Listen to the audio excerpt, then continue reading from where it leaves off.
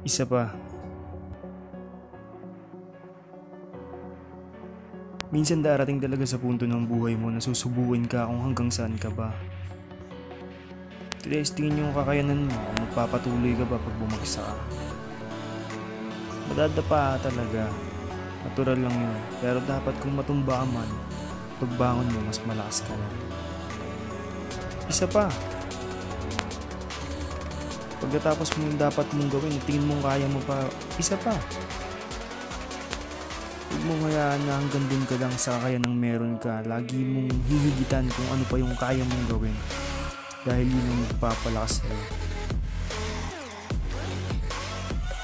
May mga punto talagang wala, parang pakiramdam mo talo ka na. Pero dapat mong enjoyin yung mga ganong pagkakataon dahil yun yung magiging patunay mo pagdating mo sa rurok ng tagumpay na. Oo, ngayon nandyan ka pa lang, pero maniwala ka sa akin. Ang lumalaban ay nananalo at ang sumusuko ay talo. Maniwala ka sa kakayanan mo anong kaya mong gawin. Huwag mong hahayaang limitahan ka ng iba o ng mundo. Tuloy-tuloy lang at gaya nga ng sabi ko, kung kaya pa, isa pa.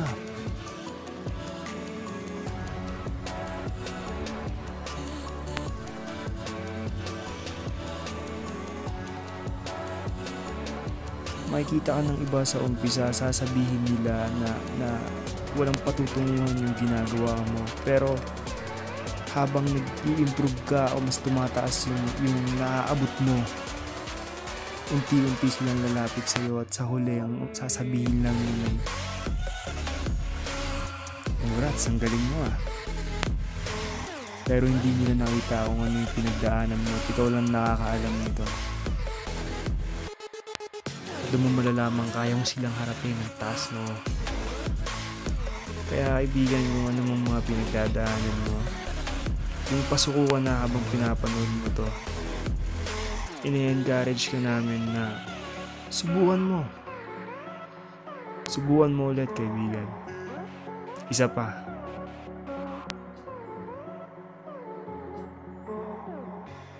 Kung magawa mo na, taasan mo, tapos isa pa.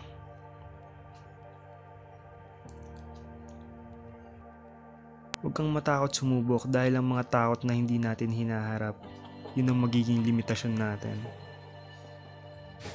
Magpatuloy ka lang at lumaban, kaibigan. Kung may mga taong sumusuporta sa'yo, nandyan lang sila, nasa likod mo. Ngumingiti kasama mo, nalulungkot kasama mo.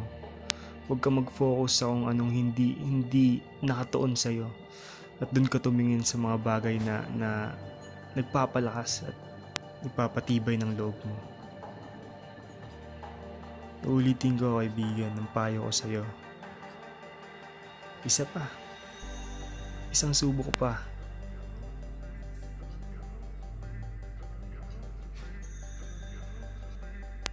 Huwag kang papayag na hanggang dyan ka lang.